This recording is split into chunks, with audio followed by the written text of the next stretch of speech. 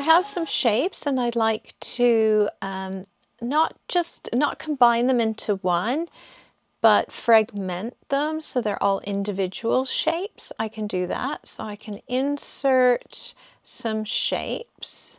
I'm just going to use some standard shapes here and uh, insert again.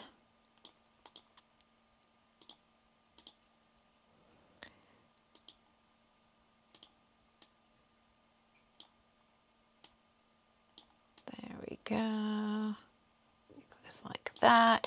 But then so that it's, it's more clear, I'm just going to color one of them a different color and then I can select both of them.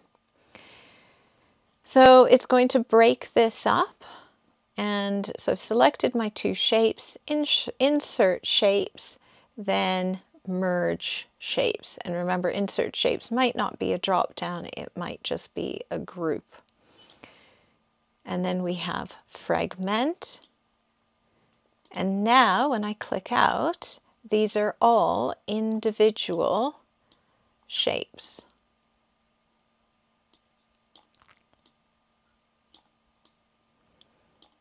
Okay, so it's basically cut them up and it allows me to have multiple shapes.